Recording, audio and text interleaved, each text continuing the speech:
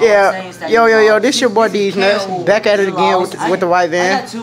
Today I'm making a video at the Double Dragon. I just beat Ricky Chin at Call of Duty in Sniper Battle. No, This boy right here is named Brian. he, this guy says he can buy a girl We with can money. buy your girlfriend with. Hey, hey, You, you can't buy a girl with money. You can't just physically throw every single part of your money at her and then you get the girl. You know what? Maybe she'll become your Boy, she'll jump on me, boy. But she won't give you the sexual attention you want because what? Y'all, all right. I just want y'all to know that whatever leave that man say, I know he, he ain't he, he ain't Okay. true. And I want y'all to Come comment, look, come on. please. You got Comment. Let's go. You got scared. Get, get Everybody, Get your controller. everybody. I want y'all to believe me.